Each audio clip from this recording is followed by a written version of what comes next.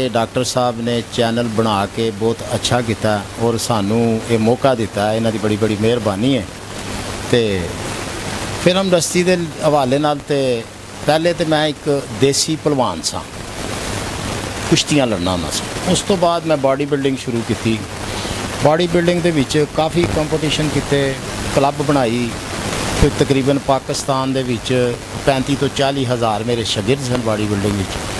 ਉਸ ਤੋਂ ਬਾਅਦ ਮੈਂ ਫਿਲਮ ਇੰਡਸਟਰੀ 'ਚ ਗਿਆ, ਇੱਕ ਮੇਰੇ ਵੱਡੇ ਭਾਈ ਨੇ, ਉਹਨਾਂ ਨੇ ਇੱਕ ਫਿਲਮ ਸ਼ੁਰੂ ਕੀਤੀ, ਦਾਰਾ ਤੇ ਕਲੰਦਰਾ। ਉਹ ਫਿਰ ਫਿਲਮ ਇੰਡਸਟਰੀ 'ਚ ਗਏ ਆ ਤੇ ਉੱਥੇ ਲੋਕਾਂ ਨੇ ਮੈਨੂੰ ਕਿਹਾ, ਜੀ, ਤੁਸੀਂ ਫਿਲਮ ਵਿੱਚ ਕੰਮ ਕਰੋ। ਮੈਨੂੰ ਹਲੇ ਕਿ ਸ਼ੌਕ ਨਹੀਂ ਸੀ ਬਿਲਕੁਲ ਫਿਲਮ ਵਿੱਚ ਕੰਮ ਕਰਨ ਦਾ। ਉਹ ਜ਼ਬਰਦਸਤੀ ਮੈਨੂੰ ਇੱਕ ਫਿਲਮ ਨਿਆ ਤੂਫਾਨ ਦੇ ਵਿੱਚ ਉਹਨਾਂ ਨੇ ਮੈਨੂੰ ਇੱਕ ਰੋਲ ਦਿੱਤਾ ਟਾਰਜ਼ਨ ਦਾ। ਉਹ ਫਿਲਮ ਮੈਂ ਕੀਤੀ ਤੇ ਉਹ ਲੋਕਾਂ ਨੇ ਬੜੀ ਪਸੰਦ ਕੀਤੀ। ਉਹ ਡਾਇਰੈਕਟਰਾਂ ਨੇ ਵੀ ਬੜੀ ਪਸੰਦ ਕੀਤੀ। ਫਿਰ ਉਹ ਆਸਤਾ ਆਸਤਾ ਮੈਨੂੰ ਲੋਕਾਂ ਨੇ, ਫਿਲਮਾਂ 'ਚ ਡਾਇਰੈਕਟਰਾਂ ਨੇ, ਫਿਰ ਸਾਰੇ ਪਾਕਿਸਤਾਨ ਦੇ ਜਿੰਨੇ ਡਾਇਰੈਕਟਰ ਸਨ, ਫਿਰ ਸਾਰਿਆਂ ਦੇ ਨਾਲ ਮੈਂ ਕੰਮ ਕੀਤਾ। ਕੰਮ ਕਾਫੀ ਫਿਲਮਾਂ ਫਲਾਪ ਵੀ ਹੋਈਆਂ, ਚੰਗੀਆਂ ਵੀ ਗਈਆਂ ਕੁਝ ਫਿਲਮਾਂ ਬਣੀਆਂ ਵੀ ਨਹੀਂ, ਜਿਨ੍ਹਾਂ ਦੇ ਵਿੱਚ ਬਹੁਤ ਅੱਛਾ ਕੰਮ ਸੀ। ਇੱਕ ਫਿਲਮ ਸੀ ਸਨ ਆਫ ਦਾਰਾ ਉਹਦੇ 'ਚ ਮੈਨੂੰ ਹੀਰੋ ਲਿਆ ਗਿਆ ਸੀ। ਉਦੋਂ ਪਹਿਲੇ ਉਹਨਾਂ ਨੇ ਬਣਾਈ ਸੀ ਦਾਰਾ ਫਿਲਮ ਅਸਲਮ ਡਾਰ ਸਾਹਿਬ ਨੇ, ਜਿਹਦੇ ਵਿੱਚ ਨਸਰੁੱਲਾ but hero C.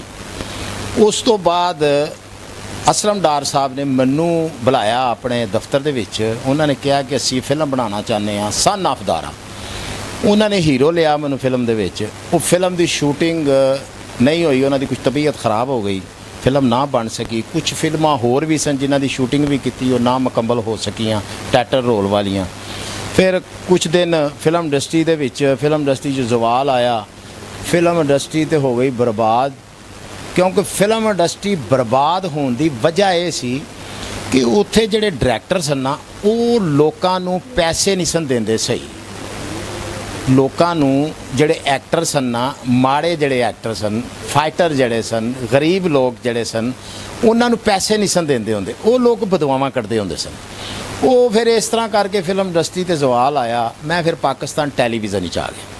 Pakistan television ਵਿੱਚ ਆ ਕੇ ਕੋ ਤਕਰੀਬਨ ਮੈਂ ਕਮ ਸੇ ਕਮ ਕੋ 2 2.5 300 ਸੀਰੀਅਲ ਕੀਤਾ। ਜਿਹਦੇ ਚ ਛੋਟੇ ਡਰਾਮੇ ਵੀ, ਵੱਡੇ ਵੀ, ਕੋਈ ਜੱਗ ਬੀਤੀਆਂ, ਇੱਕ ਸਾਡੇ ਪੀਟੀਵੀ ਦੇ ਵਿੱਚ ਬਣਦੀਆਂ, ਜਿਹੜੀਆਂ ਬੜੀਆਂ ਅੱਛੀਆਂ ਉਹ ਹੁੰਦੀਆਂ, ਤਕਰੀਬਨ 20 25 ਮਿੰਟ ਦੀ। ਤੇ ਬੜੀ ਖੂਬਸੂਰਤ ਸਟੋਰੀ ਹੁੰਦੀ ਉਹਦੀ। ਤੇ ਉਹ ਮੈਂ ਪੀਟੀਵੀ ਦੇ ਵਿੱਚ ਕੀਤੀਆਂ। ਤੇ ਫਿਰ ਅੱਲਾ ਦਾ ਕਰਮ ਹੈ, ਬਸ ਦੁਆਵਾਂ ਤੁਹਾਡੀਆਂ। ਅਵਲ ਹਮਦ ਸਨਾ ਇਲਾਹੇ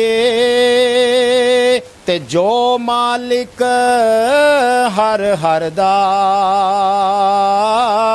ਉਸ ਦਾ ਨਾਮ ਜਤਾਰਣ ਵਾਲਾ ਕਿਸੇ ਮਦਾਨ ਨਹੀਂ ਹਰਦਾ, ਤੇ ਰਹਿਮਤ ਦਾ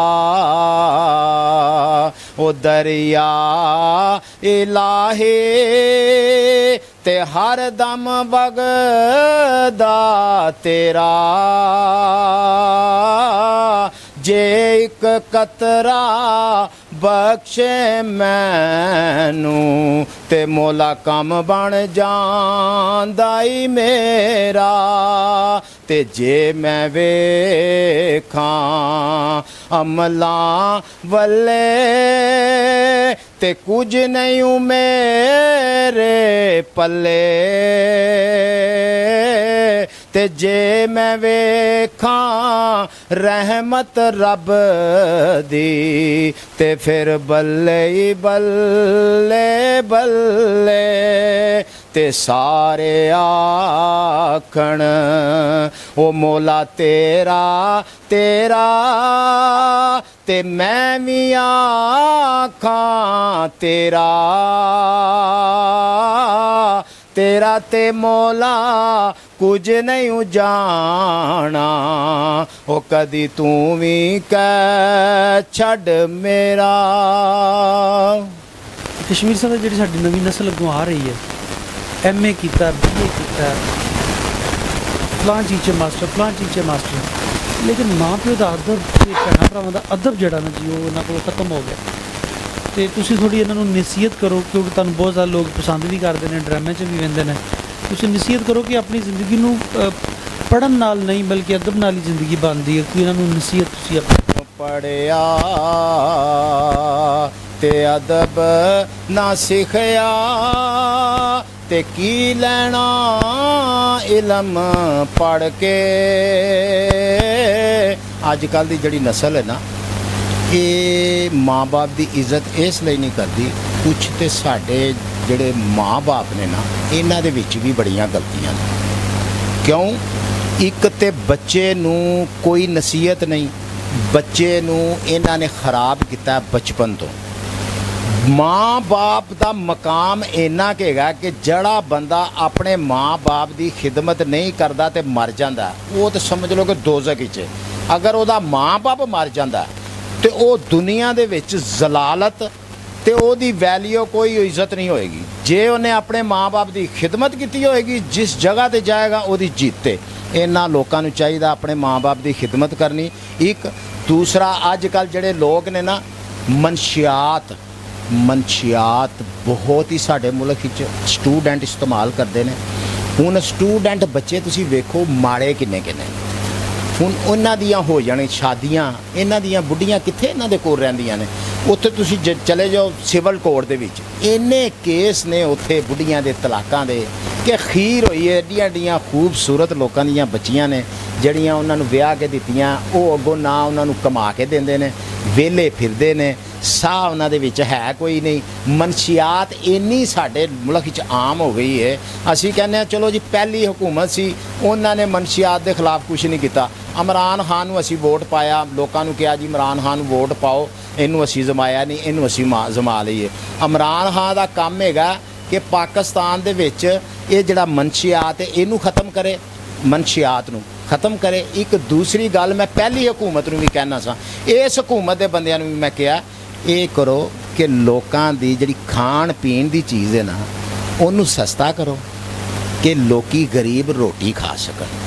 ਬਿੱਲ ਸਸਤਾ ਕਰੋ, ਆਟਾ ਸਸਤਾ ਕਰੋ, ਚੀਨੀ ਸਸਤੀ ਕਰੋ, ਸਬਜ਼ੀਆਂ, ਦਾਲ ਸਸਤੀ ਕਰੋ, ਬਾਕੀ ਤੁਸੀਂ ਚੀਜ਼ਾਂ ਮਹਿੰਗੀਆਂ ਕਰਨੀਆਂ ਕਰ ਦਿਓ। ਮੋੜ ਮੋੜ ਕੇ ਤੁਸੀਂ ਬਿਜਲੀ ਵਾਲ, ਆਟੇ ਵਾਲ, ਚੀਨੀ ਵਾਲ ਆਂਦੇ ਹੋ, ਇਹ ਕਮ ਸੇ ਕਮ ਇਹਨੂੰ ਸਸਤਾ ਕਰੋ। ਕੋ ਖੁਦਾ ਦਾ ਖੌਫ ਖਾਓ ਕੋਈ ਇਹ ਚੀਜ਼ਾਂ ਜਿਹੜੀਆਂ ਨੇ ਅੱਲਾ ਪਾਕ ਨੇ ਏਡੇ ਏਡੇ ਗਰੀਬ ਲੋਕ ਨੇ ਤੁਹਾਨੂੰ ਅੱਲਾ ਨੇ ਇੰਨਾ ਦਿੱਤਾ ਤੁਸੀਂ ਕੀ ਖਾਂਦੇ ਹੋ ਜਿਹੜੇ ਗਰੀਬ ਲੋਕ ਨੇ ਉਹਨਾਂ ਨੂੰ ਤਾਂ ਪੁੱਛੋ ਤੁਸੀਂ ਉਹਨਾਂ 6-6 ਮਹੀਨੇ ਗੋਸ਼ਤ ਨਹੀਂ ਕਦੀ ਖਾਦਾ ਹੁਣ ਗੋਸ਼ਤ ਇੰਨਾ ਮਹਿੰਗਾ ਕਿੱਥੋਂ ਖਾਣ ਮੁਰਗੀ ਦਾ ਗੋਸ਼ਤ ਤੇ ਉਹਨਾਂ ਨੇ ਕਿਹਾ ਜੀ ਕਿ ਹਮਜ਼ਾ ਸ਼ਬਾਜ਼ ਸੀ ਜੀ ਜੋ ਨੇ ਇੰਨਾ ਰੇਟ ਵਧਾਇਆ ਤੇ ਹੁਣ ਕੀ ਰੇਟ ਹੈ 200 250 300 ਰੁਪਇਆ ਤੇ ਹੁਣ ਵੀ ਰੇਟ ਹੈ ਇਹ ਇਮਰਾਨ ਖਾਨ ਦਾ ਸਾਹਿਬ ਦਾ ਕੰਮ ਹੈਗਾ ਇਹਨਾਂ ਨੂੰ ਚਾਹੀਦਾ ਹੈ, ਅੱਗੋਂ ਰਮਜ਼ਾਨ ਸ਼ਰੀਫ ਆ ਰਿਹਾ ਅੱਧੀ ਕੀਮਤ ਤੇ ਚੀਜ਼ਾਂ ਦੇਣ। ਜੇ ਅੱਗੀ ਅੱਧੀ ਕੀਮਤ ਤੇ ਰਮਜ਼ਾਨ ਸ਼ਰੀਫ ਨੂੰ ਇਹ ਚੀਜ਼ਾਂ ਨਹੀਂ ਦਿੰਦੇ, ਤੇ ਮੈਂ ਇਸ ਹਕੂਮਤ ਨੂੰ ਕਹਿਣਾ ਕਿ ਇੱਕ ਟਗੇ ਦੇ ਬੰਦੇ ਨਹੀਂ ਹੈਗੇ, ਇੱਕ ਟਗੇ ਦੀ ਹਕੂਮਤ ਨਹੀਂਗੀ ਲਾਨਤ ਹੈ ਫਿਰ ਇਹਨਾਂ ਦੇ ਉੱਤੇ ਜੇ ਇਹ ਸਪੋਰਟਸ ਨਹੀਂ ਕਰ ਸਕਦੇ ਤੇ। ਇਹਨਾਂ ਚੀਜ਼ਾਂ ਦੇ ਬਾਰੇ ਚ ਜੇ ਨਹੀਂ ਨਾ ਸੋਚ ਸਕਦੇ, ਇਹਨੂੰ ਹਕੂਮਤ ਛੱਡ ਦੇਣ, ਇਹ ਹਕੂਮਤ ਮੈਨੂੰ ਦੇਣ, ਮੈਂ ਕਰਕੇ ਇਹਨਾਂ ਨੂੰ ਬਹਾਨਾ ਵਾਂ ਹਕੂਮਤ। ਬਿਜਲੀ ਦਾ ਬਿੱਲ ਵਧਾਤਾ ਪੈਟਰੋਲ ਵਧਾਤਾ ਹੁਣ ਪੈਟਰੋਲ, ਡੀਜ਼ਲ ਵੱਧ ਗਿਆ। ਸਬਜ਼ੀ ਤੇ ਜਿਹੜੀ 10 ਰੁਪਏ ਦੀ ਕਿਲੋ ਸੀ, ਉਹ ਤੇ 20 ਰੁਪਏ ਕਿਲੋ ਹੋ ਗਈ ਨਾ। ਉਹ ਗਰੀਬਾਂ ਨੂੰ ਕਮ ਸੇ ਕਮ ਰੋਟੀ ਤੇ ਖਾਣ ਦਿਓ। ਉਹ ਯਾਰ ਰੋਟੀ ਨਹੀਂ ਖਾਣ ਦਿੰਦੇ ਤੁਸੀਂ ਗਰੀਬਾਂ ਨੂੰ। ਆਪ ਤੁਸੀਂ ਮੁਰਗੇ, ਚਰਗੇ ਤੇ ਹਿਰਨ ਦਾ ਗੋਸ਼ਤ ਖਾਂਦੇ ਹੋ। ਜਿਹੜੇ ਗਰੀਬ ਲੋਕ ਨੇ, ਉਹਨਾਂ ਦੇ ਬਾਰੇ ਸੋਚੋ, ਨਹੀਂ ਤੇ ਅੱਲਾ ਨੇ ਤੁਹਾਡਾ ਖਾਨਾ ਖਰਾਬ ਕਰਕੇ ਰੱਖ ਦੇਣਾ। ਹਜ਼ੂਰ ਦਾ ਸਦਕਾ। ਇਹ ਚੀਜ਼ਾਂ ਜਿਹੜੀਆਂ ਨਾ, ਇਹਨਾਂ ਨੂੰ ਸੋਚਣਾ ਚਾਹੀਦਾ। ਹਰ ਮੁਸਲਮਾਨ ਨੂੰ ਇੱਕ ਮੁਸਲਮਾਨ ਦੇ ਬਾਰੇ ਚ ਸੋਚਣਾ ਚਾਹੀਦਾ। ਹਰ ਇੱਕ ਭਰਾ ਨੂੰ ਦੂਸਰੇ ਭਰਾ ਦੇ ਬਾਰੇ 'ਚ ਸੋਚਣਾ ਚਾਹੀਦਾ। ਹੁਣ ਲੋਕੀ ਜ਼ਕਾਤ ਦੇਣ ਲੱਗ ਪਏ ਤੇ ਇੱਥੇ ਕਿਹੜਾ ਬੰਦਾ ਗਰੀਬ ਰਹੇ ਜੀ? ਦੱਸੋ ਮੈਨੂੰ। ਮਾਹਿਰ ਰਮਜ਼ਾਨ ਦੇ ਵਿੱਚ ਕਰੋੜ ਰੁਪਇਆ ਹੁੰਦਾ ਕੋਲ ਤੇ 10 ਲੱਖ ਰੁਪਇਆ ਵੰਡ ਕੇ ਬਾਕੀ ਆਪਣੇ ਬੱਚਿਆਂ ਨੂੰ ਗੱਡੀ ਲੈ ਦਿੰਦੇ ਨੇ। ਇਸ ਤਰ੍ਹਾਂ ਨਹੀਂ ਕਰਨਾ ਚਾਹੀਦਾ। ਇਹਨਾਂ ਨੂੰ ਸੋਚਣਾ ਚਾਹੀਦਾ, ਮਰਨਾ ਕਵਰ ਕਬਰ ਵਿੱਚ ਜਾਣਾ ਉੱਥੇ ਕੀ ਹਾਲ ਹੋਏਗਾ, ਮੈਂ ਕੀ ਮੂੰਹ ਲੈ ਕੇ ਜਾਵਾਂਗਾ ਕਵਰ ਦੇ ਵਿੱਚ? ਉੱਥੇ ਤੇ ਅਗਲਾ ਨੇ ਕਹਾ, ਉੱਠ ਬਈ, ਕਿੱਧਰ ਆਇਆ ਕੀ ਮੂੰਹ ਲੈ ਕੇ ਆਇਆ ਕਮ ਸੇ ਕਮ ਬੰਦਾ ਇਹੋ ਜੇ ਅਮਲ ਕਰ ਜਾਵੇ ਕਿ ਕਵਰ ਦੇ ਵਿੱਚ ਰੋਸ਼ਨ ਹੋਵੇ ਕਵਰ ਕਵਰ 'ਚ ਜਾਓ, ਤੁਹਾਡਾ ਇਸਤਕਬਾਲ ਹੋਵੇ। ਤੇ ਜੇ ਤੁਹਾਡਾ ਇਸਤਕਬਾਲ ਹੀ ਨਹੀਂ ਹੋਣਾ, ਤੁਹਾਨੂੰ ਛਿੱਤਰ ਹੀ ਪੈਣੇ ਨੇ ਕਵਰ ਦੇ ਵਿੱਚ, ਤੇ ਇਹੋ ਜਿਹੇ ਛੱਡ ਦਿਓ ਹਕੂਮਤਾਂ ਸ਼ਕੂਮਤਾਂ। ਜੇ ਪੈਸੇ ਬਣਾ ਕੇ, ਬਿਲਡਿੰਗਾਂ ਬਣਾ ਕੇ ਕੀ ਕੀਤਾ ਜੇ ਅੱਜ ਤੱਕ? ਨਵਾਜ਼ ਸ਼ਰੀਫ ਨੇ ਕੀ ਕਰ ਲਿਆ? ਜ਼ਲੀਲ ਹੋਇਆ ਕਿ ਨਹੀਂ? ਜੇਲ੍ਹਾਂ ਦੇ ਵਿੱਚ, ਤੇ ਅੱਜ ਉਹਦਾ ਹਾਲ ਵੇਖੋ ਕੀ ਹੁੰਦਾ ਪਿਆ। ਉੱਥੇ ਪ੍ਰਾਪਰਟੀ ਬਣਾ ਲਈ, ਉੱਥੇ ਪ੍ਰਾਪਰਟੀ ਬਣਾ ਲਈ, ਉੱਥੇ ਪ੍ਰਾਪ- ਮੈਂ ਲਾਨਤ ਭੇਜਣਾ ਇਹੋ ਜਿਹਾ ਹੁਕਮਰਾਨਾਂ ਨੂੰ, ਮੈਨੂੰ ਦੇਣ ਹਕੂਮਤ। ਮੈਂ ਚਲਾ ਕੇ ਵਹਾਨਾ ਇਹਨਾਂ ਨੂੰ ਹਕੂਮਤ। ਖੁਦਾ ਦੀ ਕਸਮ ਜੇ ਇਹਨਾਂ ਕੋਲ ਵੱਧ ਹਕੂਮਤ ਨਾ ਚਲਾਵਾਂਗਾ, ਤੇ ਗੱਲ ਕਰਨਾ ਤੁਸੀਂ। ਮੈਂ ਆਪਣੇ ਸੀਨੇ ਤੇ ਕੁਰਾਨੇ ਪਾਕ ਰੱਖਾਂਗਾ, ਕੁਰਾਨੇ ਪਾਕ ਰੱਖ ਕੇ ਹਕੂਮਤ ਚਲਾਵਾਂਗਾ। ਕੋਈ ਬੇਈਮਾਨੀ ਨਹੀਂ, ਕੋਈ ਝੂਠ ਨਹੀਂ। ਤੇ ਗਰੀਬਾਂ ਨੂੰ ਇੰਨੀ ਕੁ ਅੱਲਾ ਦੇ ਫਜ਼ਲ, ਕਰਮ ਨਾਲ ਉਹਨਾਂ ਦੀ ਮਦਦ ਕਰਾਂਗਾ ਕਿ ਪਾਕਿਸਤਾਨ ਦੇ ਵਿੱਚ ਇਹ ਗਰੀਬ ਮਰਦੇ ਮਰਦੇ ਮੈਨੂੰ ਦੁਆਵਾਂ ਦੇ ਕੇ ਮਰਨਗੇ।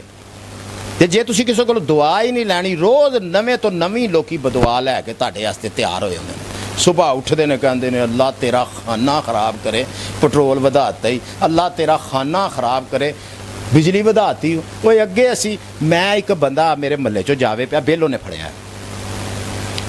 ਮੈਂ ਕਿਹਾ ਭਾਜੀ ਕਿੱਥੇ ਜਾ ਰਹੇ ਹੋ ਤੇ ਉਹ ਜਾ ਕੇ ਖੰਬੇ ਦੇ ਨਾਲ ਉਹਦਾ ਸਿਰ ਵੱਜਾ ਮੈਂ ਕਿਹਾ ਭਾਈ ਨੇ ਕੀ ਹੋਇਆ ਕਹਿੰਦਾ ਮੈਂ ਬਿੱਲ ਵੇਖਣਾ ਪਿਆ ਭਾਈ ਨੂੰ ਬੜਾ ਬਿੱਲ ਆ ਗਿਆ ਯਕੀਨ ਕਰੋ ਉਹਦੇ ਮੂੰਹ ਚੋਂ ਗੱਲ ਨਾ ਨਿਕਲੇ ਕਿ ਬਿੱਲ ਬੜਾ ਆ ਗਿਆ ਮੈਂ ਉਹ ਹੁਣ ਤੁਸੀਂ ਮੈਨੂੰ ਇਹ ਦੱਸੋ ਕਿ ਜਿਹੜਾ ਦੀ ਤਨਖਾਹ 20000 ਰੁਪਈਆ ਹੈ, ਉਹ ਆਪਣੇ ਬੱਚੇ ਕੀ ਪੜਾਵੇਗਾ ਕਿਰਾਇਆ ਕੀ ਦੇਵੇਗਾ ਮੈਂ ਸਵੇਰ ਉੱਠਣਾ ਮੈਂ ਦੁਆ ਕਰਨਾ ਯਾ ਰੱਬੇ ਲਾਲਾ ਮੀਨ ਜਿਹਦੀ ਔਲਾਦ ਨਹੀਂ ਉਹਨੂੰ ਔਲਾਦ عطا ਫਰਮਾ ਤੇ ਜਿਹਦਾ ਮਕਾਨ ਨਹੀਂ ਅੱਲਾ ਪਾਕ ਉਹਨੂੰ ਮਕਾਨ عطا ਫਰਮਾ ਅੱਲਾ ਪਾਕ ਇਹ ਕੰਮ ਕਰਦੇ ਦੁਨੀਆ 'ਚ ਬੜੇ ਲੋਕ ਮੈਂ ਵੇਖਣਾ ਪਿਆ ਵਾਂ ਵਿਚਾਰੇ ਇੱਧਰੋਂ ਸਮਾਨ ਚੁੱਕਦੇ ਨੇ ਉਧਰ ਚਲੇ ਜਾਂਦੇ ਨੇ ਉਧਰੋਂ ਚੁੱਕਦੇ ਨੇ ਇੱਧਰ ਆਏ ਨੇ ਮੇਰੇ ਮਹੱਲੇ ਦੇ ਵਿੱਚ ਆਏ ਦਿਨ ਗੱਡੀ ਆਈ ਹੁੰਦੀ ਸਮਾਨ ਚੁੱਕਣ ਵਾਲੀ ਤੇ ਲਿਆਉਣ ਵਾਲੀ ਚੁੱਕਣ ਵਾਲੀ ਤੇ ਲਿਆਉਣ ਵਾਲੀ ਤੇ ਕੀ ਉਹਨਾਂ ਲੋਕਾਂ ਦਾ ਹਾਲ ਹੈ? ਤੁਸੀਂ ਮੈਨੂੰ ਦੱਸੋ, ਕਿਰਾਇਆ ਅੱਜ ਕੱਲ ਇੰਨਾ ਵੱਧ ਗਿਆ, ਇਹਦੇ ਬਾਰੇ 'ਚ ਵੀ ਇਹਨੂੰ ਸੋਚਣਾ ਚਾਹੀਦਾ। ਮਕਾਨਾਂ ਦੇ ਕਿਰਾਏ, ਇੱਕ ਬੈਠਕ ਦਾ ਕਿਰਾਇਆ ਪਤਾ ਕਿੰਨਾ? 15000 ਰੁਪਈਆ 12000 ਰੁਪਈਆ। ਇੱਕ ਬੈਠਕ ਦਾ ਜਿਹਦੇ ਵਿੱਚ ਹੀ ਉਹਨਾਂ ਨੇ ਚੁੱਲ੍ਹਾ, ਵਿੱਚ ਹੀ ਲੈਟਰੀ ਨੇ, ਵਿੱਚ ਹੀ ਬਹਿਣਾ, ਵਿੱਚ ਹੀ ਸੋਣਾ, ਬੱਚਿਆਂ ਨੇ ਵੀ, ਬੀਵੀ ਨੇ ਵੀ। ਹੁਣ ਮੈਨੂੰ ਤੁਸੀਂ ਦੱਸੋ ਕਿ ਖੁਦਾ ਦਾ ਖੌਫ ਕਰੋ। ਤੁਸੀਂ ਮਰਨਾ ਨਹੀਂ ਤੇ ਮਰਨਾ ਤੇ ਤੁਸੀਂ ਕੁੱਤੇ ਦੀ ਮੌਤ ਹੈ ਇਨਸ਼ਾਅੱਲਾ ਤਾਲਾ। ਕਿਉਂਕਿ ਜਦੋਂ ਤੁਸੀਂ ਚੰਗੇ ਕੰਮ ਹੀ ਨਹੀਂ ਕਰਨੇ ਤੇ ਤੁਸੀਂ ਮਰੋਗੇ ਕੁੱਤੇ ਦੀ ਮੌਤ। ਜੇ ਤੁਸੀਂ ਚੰਗੇ ਕੰਮ ਕਰੋਗੇ ਤੇ ਤੁਸੀਂ ਸ਼ਹੀਦ ਦੀ ਮੌਤ ਮਰੋਗੇ। ਤੁਹਾਡੀ ਕਬਰ ਤੇ ਵੀ ਲੋਕਾਂ ਨੇ ਭਾਜੀ ਖੁਸ਼ਬੂਆਂ ਲੈਣੀਆਂ ਮਜ਼ੇ ਲੈਣੇ ਨੇ। ਹੁਣ ਅਸੀਂ ਉੱਥੇ ਮੈਂ ਸਵੇਰ ਆਪਣੀ ਮਸਜਿਦ ਦੇ ਵਿੱਚ ਅਜ਼ਾਨ ਦੇਣ ਤੋਂ ਬਾਅਦ ਦਰੂਦੇ ਪਾਕ ਪੜਨਾ ਦਰੂਦੇ ਬਾਅਦ ਤੋਂ ਬਾਅਦ ਮੈਂ ਸ਼ੇਰ ਇੱਕ ਪੜਨਾ ਵਾ। ਉਹ ਲੋਕ ਆਂਦੇ ਨੇ ਮੈਨੂੰ ਕਹਿੰਦੇ ਨੇ ਜੀ ਬੜਾ ਮਜ਼ਾ ਆਂਦਾ ਪੁੱਤਰ ਓਏ ਤੁਸੀਂ ਪੜਦੇ ਹੋ ਸੁਭਾਨ ਅੱਲਾ ਕੋਈ ਮੇਰਾ ਮੂੰਹ ਚੁੰਮਦਾ ਕੋਈ ਮੇਰੇ ਹੱਥ ਚੁੰਮਦਾ। ਕਿਹੜਾ ਜੀ?